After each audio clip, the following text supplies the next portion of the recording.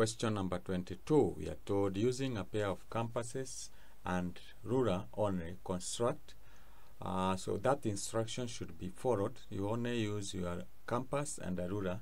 If you use other instrument, uh, you'll be you lose marks because uh, there will be marks that will be checked by the examiner.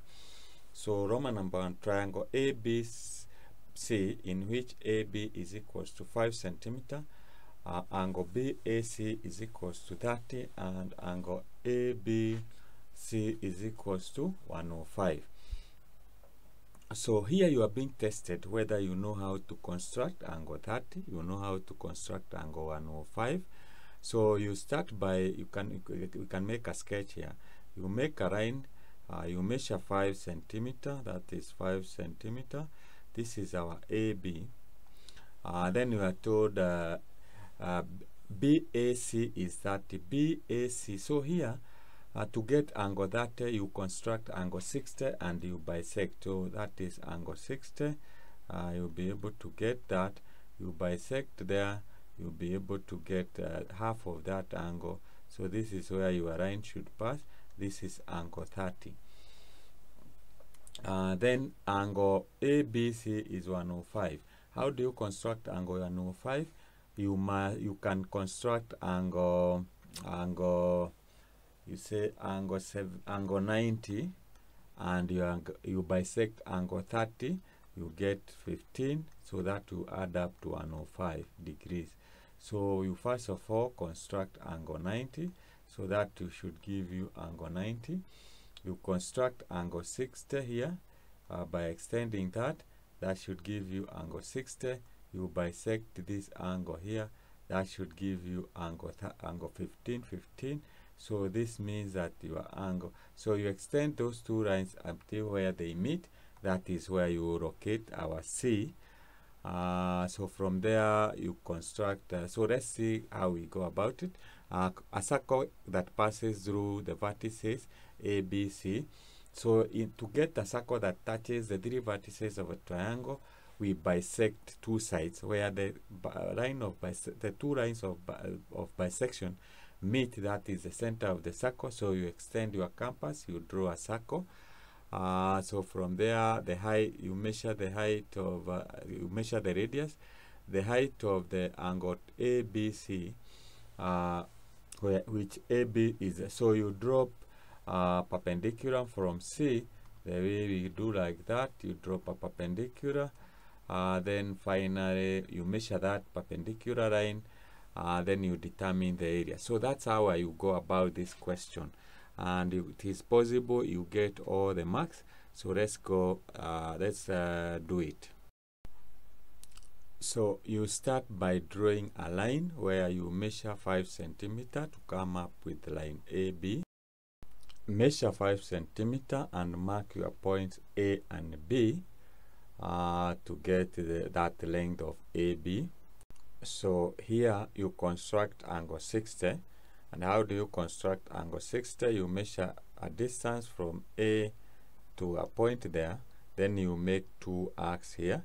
And that will be uh, angle 60 so this angle is 60 uh, following the uh, the use of uh, the property of equilateral triangle. So that is how you construct angle 60 because we are looking for angle 30 that is angle BAC you bisect the angle 60 by taking two points that is that point and this and you make two arcs here. And that should be give you now the line AC but we don't know how uh, where AC uh, C is so we are going now to use we construct angle 105 to be able to locate uh, our point C. Like I had explained in, from the beginning we we construct angle 90 and we add 15 so here I have used uh, this point B to make two marks and using those two marks you make uh, you make uh, uh, two marks there and you should be able to come uh, there should be other two marks here. You come up with a perpendicular line so that makes an angle of 90 after constructing an angle of 90 then uh, I have constructed another angle 60 so that uh, whatever this angle that will remain here is 30 we bisect that angle. So angle 60 like just like we started I have used part uh, point B make a point there use this point to make that mark and this other point to make that mark they have comma. So this angle is 60 degrees. So and this is 30 so if we bisect this angle 30 we will be able to come up with angle 15 in which when we add to 90 we will be able to get 45 uh, or 105 degrees.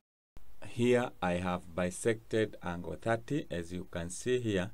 So now I'll draw a line from B and where the two lines uh, intersect that will be the point of C. So this line where they intersect that will be the position of C. So let me draw that. Uh, this is now angle 105 uh, and we have located C. So that is how you construct angle 105 degrees uh, by constructing angle 90 constructing 60 and what remains 30 you bisect you'll be able to. So you have located uh, part C and we are supposed to measure the radius.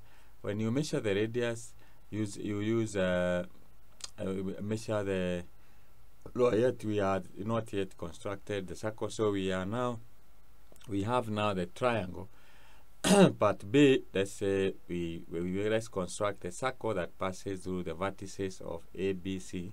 So we bisect AB and BC, where the two uh, bi, bi, bisector uh, cross each other.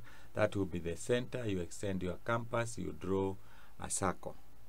So in this section, I have bisected the line AB. You take your compass, you make a mark there, and on the other side, then B uh, you make your mark there. And the other side you join the two uh, points where the two uh, crosses where they uh, cross each other. You come up with a perpendicular.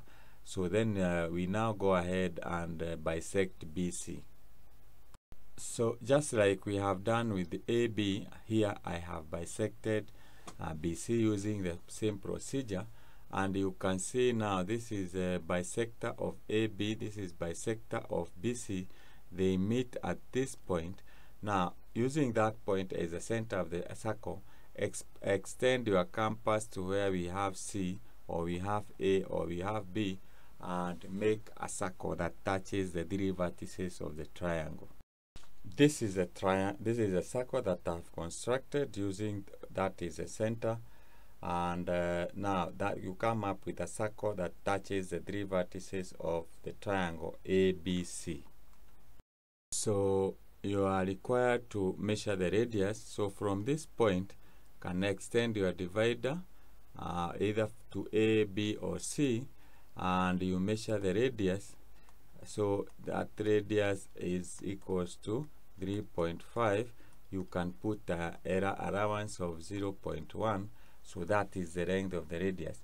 Then we are told to drop a perpendicular okay the height of a triangle ABC with AB as a base measure the height. So from C you make two marks here and uh, using those two marks you make other two marks using this point and this point and then you join you come up with a perpendicular.